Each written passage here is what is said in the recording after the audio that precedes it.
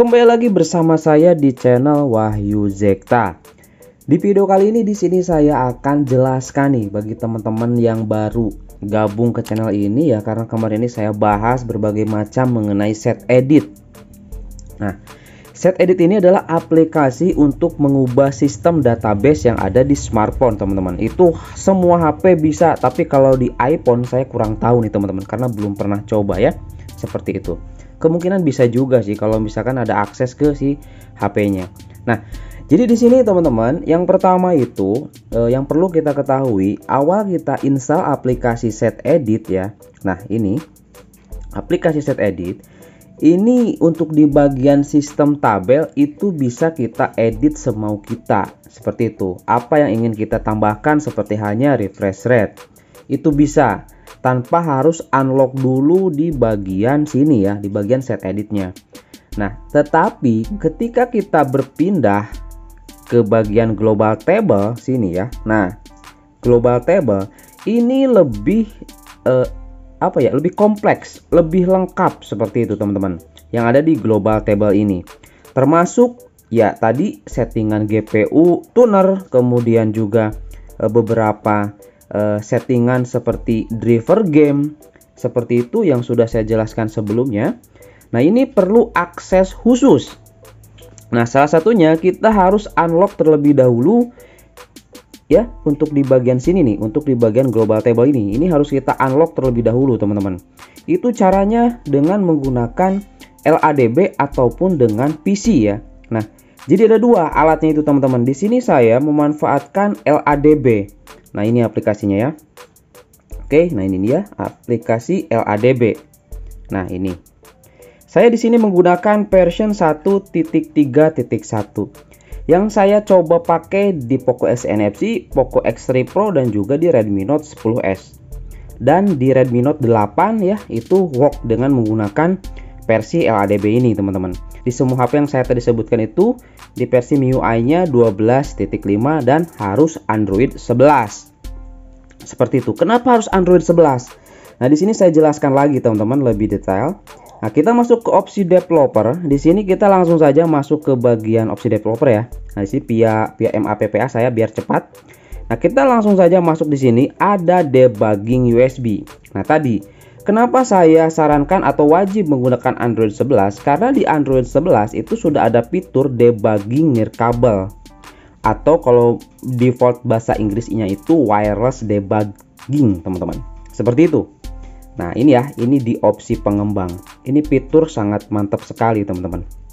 Nah, sebelumnya saya pernah coba menggunakan eh, ADB ya, ADB Passboot waktu itu di HP Asus Zenfone Pro M1 ketika mau unlock uh, cam to API waktu itu di Android 9. Nah, karena tidak ada fitur ini, coba kalau di Android 9 waktu itu ada fitur ini, kita nggak perlu harus menggunakan ADB yang ada di PC, teman-teman.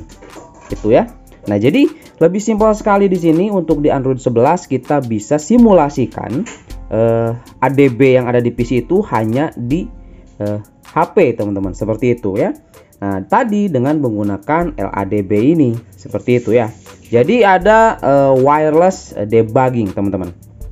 Nah, jadi yang terpenting di sini ketika teman-teman di sini kok ada pertanyaan nih banyak banget pertanyaan di kolom komentar, bang kenapa saya nggak bisa edit di global table gitu kan? Sebelumnya di sistem table itu bisa ada tulisan semacam itu. Nah tulisannya seperti ini teman-teman. Nah itu di bagian yang tengahnya, nah itu ada scriptnya sudah dikasih tahu. Nah ya yang PM, Grand sampai di di sana ada tuh ya uh, secure setting seperti itu. Nah sampai situ. Dan itu script itu harus diperhatikan titik koma spasinya teman-teman.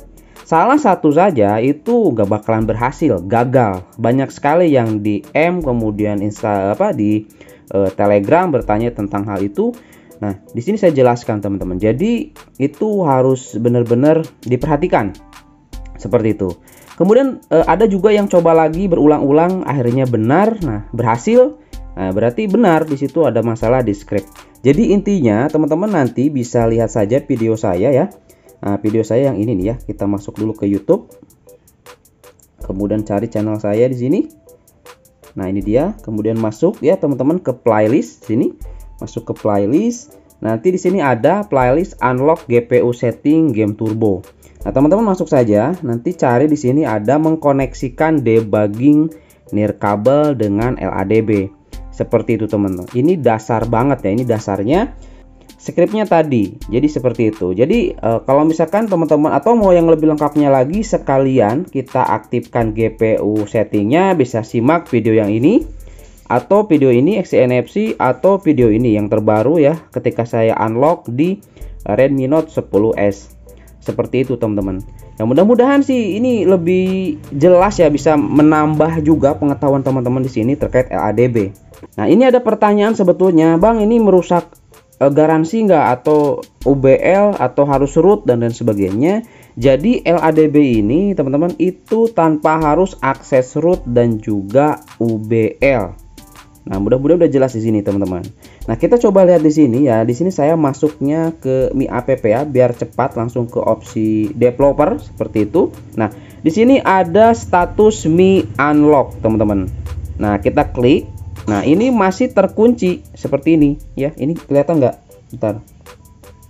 Nah, Perangkat ini terkunci, perangkat ini telah aman. Jadi ini masih dalam keadaan terkunci atau e, masih di lock untuk UBL-nya. Intinya nggak harus root lah seperti itu. Aman teman-teman ya. Nah ini penting nih. E, kalau soalnya teman-teman banyak yang bertanya bang itu harus UBL bang itu harus uh, root enggak dan lain sebagainya lah seperti itu. Nah, nah teman-teman jadi di channel ini saya usahakan apa pun tutorial yang memang berkaitan dengan uh, sistem dan lain sebagainya uh, konfigurasi di sini saya usahakan tanpa harus UBL ataupun root. Jadi tanpa root di channel ini teman-teman. Nah, kalau misalkan pingin ada tutorial yang root, kemudian yang custom ROM seperti itu, mungkin nanti saya akan bahas di channel lain ya seperti itu biar khusus membahas terkait ter, e, hal tersebut seperti itu teman-teman. Oke, itu yang mungkin ya di sini sudah jelas e, terkait set edit. Kemudian e, ada pertanyaan-pertanyaan teman-teman di sini yang banyak sekali di kolom komentar terkait set edit. Nah, jadi mungkin di video ini sudah terjawab ya teman-teman seperti itu. Uh, jadi semoga teman-teman di sini ada informasi yang bermanfaat dalam video ini dan eh, pertanyaan-pertanyaan teman-teman di kolom komentar bisa terjawab.